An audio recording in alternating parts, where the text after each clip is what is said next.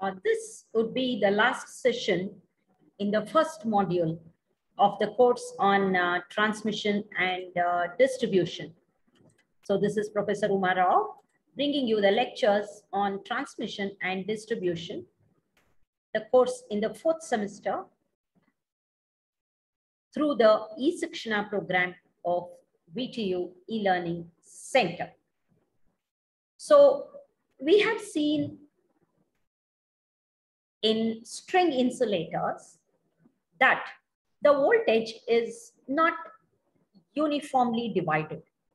So even though the disks are identical, the disks are identical because of the shunt capacitance, because of the shunt capacitance, uh, we get unequal voltage distribution with the voltage being the least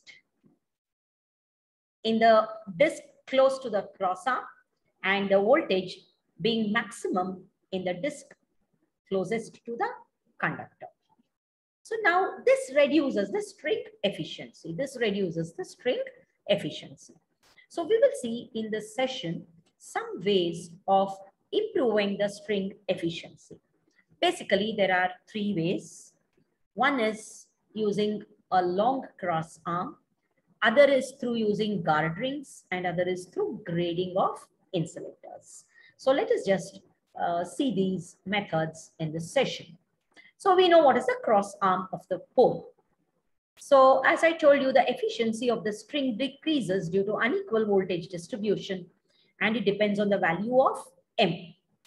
Greater the value of M, okay, M is the ratio between the self-inductance and the shunt inductance. So greater the value of M, more will be the difference and uh, lesser the efficiency. So if M is equal to zero, then, then it will be divided equally, but that is not the case. So our aim should be to minimize the value of M, minimize the value of M. This can be done by increasing the length of the cross arm to minimize the ground capacitance. But uh, this is not possible because of the cost and the strength of the supports will not allow long cross arms. Okay. So with this method, we cannot reduce the value of M to less than 0.1. So this method is not very popular. What is the other method? The other method is grading of the insulator units. It's called as uh, capacitor grading. Capacitor grading. That means I don't use identical, uh, I don't use identical disks. Okay. So what we do is we ensure that, see if all these C's, the capacitance, the mutual capacitances are equal, then we have unequal voltage distribution. So if I want to have equal voltage distribution, that is V across all of them, then how should this value of capacitance be uh, designed? That is the question in, in grading. Okay. So we say the voltage here is equalized. The voltage is equalized. So these are called as equalizing capacitors. Now we will see what, what is the um, issue. So you see, I want the voltage across C1 to be V, across C2 to be V, across C3 V, all of them I want it to be V. So we will use the same uh, method we followed earlier. That is by writing KCL at different nodes. So now, so let C be the capacitance of the topmost unit. That is C1. And let the shunt capacitance be MC. And let each unit have a uniform potential V. So C1 is equal to C. The topmost unit is C1 that I have denoted it as C and we will get the relationship between C1 and C2, C3, C4, etc. So first, just see, see this uh, figure. This lowercase i1, this, the voltage across C1 is V, right? So this current I1 will be V into C omega because C1, I have taken it to be equal to C. So it is V into C omega, this current. And the current through this MC, the potential across the first shunt capacitance is also V. And therefore, this uppercase I1, the current through this shunt capacitance will be V into mc omega. So this is V into C omega. This will be V into MC omega.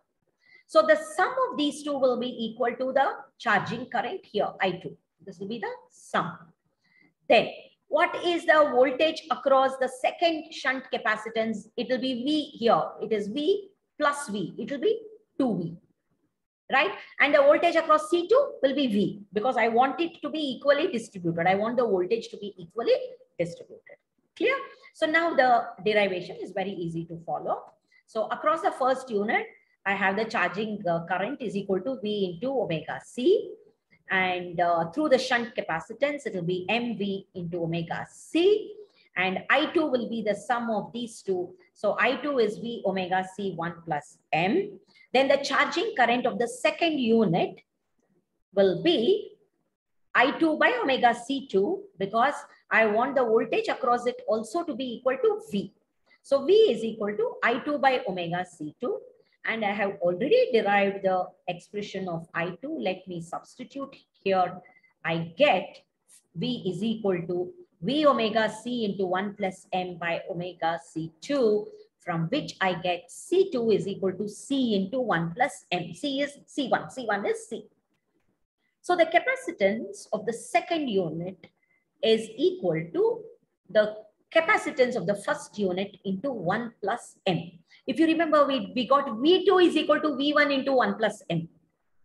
If I have the same value of C, right? Now it's the reverse. C2 will be equal to C into 1 plus m. Now for the third unit, what happens? The voltage across uh, the shunt capacitance is 2 Vm omega C. Then I3 will be the sum of the charging current I2 plus I2. So I get V omega C into 1 plus 3M. And across the third unit also, I want the voltage to be V. So it will be the current through the third unit divided by omega C3, from which I get V omega C into 1 plus 3M. This I have substituted for I3 divided by omega C3 from which I get C3 is equal to C into 1 plus 3M. So you see, I have unequal capacitances. That means they are not identical units. So to equalize the voltages, the capacitances are in the ratio 1 is to 1 plus M in, is to 1 plus 3M and so on. Now there are two problems with it. One is all units are not identical and then you lose the modular structure. You know, I cannot, if one goes bad, I can't just replace it with the other. Whereas if I use all identical units, one disk fails, I can replace it with another disk. That is not possible in this uh, type of design. So the units are not interchangeable. Clear? So this is the second method. It has its own drawback. We saw what the drawback is. Now the third method is by using guard rings. So a guard ring is a metal ring which is electrically connected to the conductor surrounding the bottom unit of the string insulator. So you know the conductor passes through the last disc. So it is this guard ring is, an, is a metal ring which is connected to that. So what this will do, what is the function of this guard ring? It is a metallic ring. So it will introduce capacitance between metal links and the line conductor. So you, I told you each disc will have a metal link to attach it to the next one. So this guard ring will introduce a capacitance between the metal link and the line conductor. And we design it so that it cancels out the shunt capacitance. We design it so that it cancels out the shunt capacitance. Therefore, the same charging current flows through all the discs, thus improving, improving the string um, efficiency. So you see, this is a guard ring. So this is the lowest uh, disk and that is connected. This is the conductor. So it is connected to the metallic link of link of the lowest disk. Here, these are the guard rings. Okay, this is how the guard rings are connected. So this is the lowest disk. So this is closer to the supporting structure. This disk is the topmost, what we call as top, closest to the supporting structure. And this, the last link is the one which carries the conductor. So here, what, what do we do? So let C1, C2, C3 be the capacitance between each metal fixture and the guard link. So let us see this figure. See here, C1, C2, C3. So this metal pin link and the uh, conductor is C1. The second link and the conductor is C2 and the third link and the conductor is C3. Now my uh, design should be such that these are all identical units. So all of them are C. When I use capacitive grading, you saw I don't I didn't use C everywhere. It was C1, C2, C3 because they're all of discs of different types. Now these are all of same types.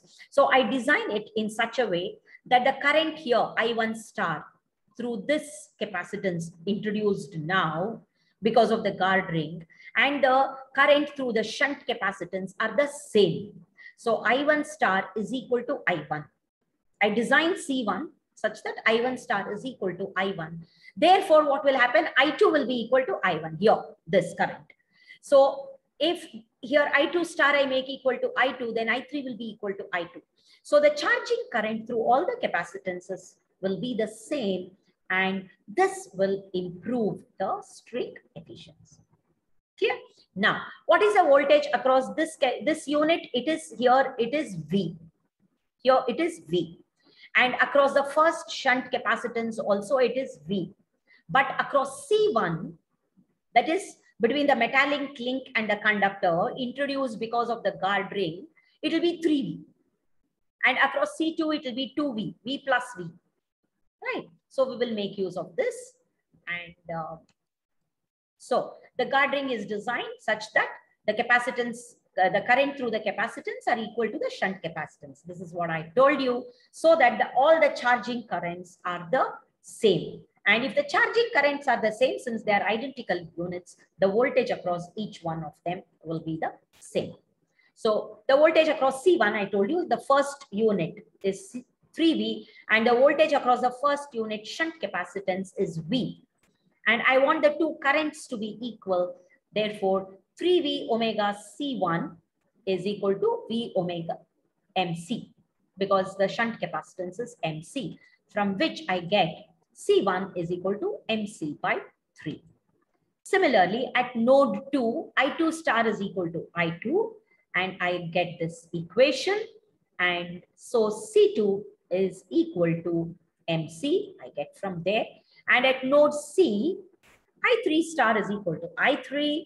So I3 star, the current is V omega C3 and the current through the shunt capacitance is V omega MC. So I get C3 is equal to 3 MC. So you see C1 is MC by 3, C2 is MC, C3 is 3 MC. And if you have K units, K units, then the capacitance between the guard ring and nth unit, any, so n will vary from 1 to k, is given by C of n is equal to nmc by k minus n. That's how we design the guard ring. That is this third method. The fourth method is using arcing horns. So these are uh, not for uh, equalizing the string efficiency. These are to protect the overhead lines against flashovers. The lines have to be protected against flashovers. So they are conductors which are used to protect overhead transmission lines against flashovers, which result as a lightning because of lightning. So they are, you can see here, they're projecting conductors used to protect insulators or switch switch hardware, switchware, uh, and switch gear and hardware or high voltage electric power transmission systems from damage. So they will conduct the arc to the ground. That's why they are called as arcing horns. Okay. They're a kind of protection for the line. So over voltage on transmission line may occur due to a lightning strike, sudden load variation. There is a load is suddenly thrown off, and uh, some fault. So whenever you have unbalanced faults like single line to ground, double line to ground, double line, uh, so the voltage will go up uh, in one line and will come down in the other. So due to all these, this high voltage can cause a flash over, over the insulator. I hope you all remember the beautiful videos I showed you, how a flashover occurs across the insulators. So to prevent this, arcing horns are used and they provide a bypass path for the flashover. And what is the conducting medium? The air becomes the conducting medium. So I have a, a gap.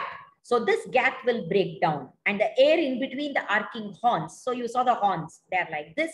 So the air in between the horns break down and the, the, there is a flashover from the arc arcing horn through the air to the, to the other one. So this will protect your uh, insulator or the line, whatever you want to protect.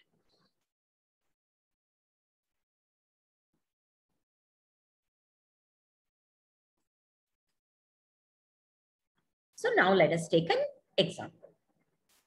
So I want to see how uh, I can uh, equalize the string of five insulators. I want to fit it with a guard ring. So I want the values of the capacitors.